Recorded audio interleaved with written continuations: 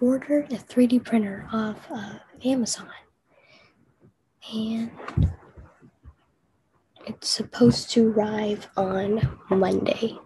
So I waited and waited and waited and waited and slept.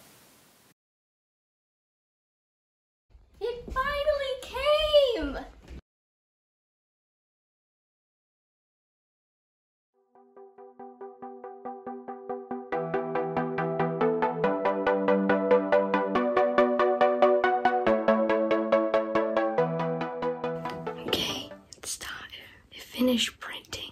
So I am now going to take the uh, 3D printed out and then just go over it with some sandpaper just so it's um, more smooth and just easier to paint.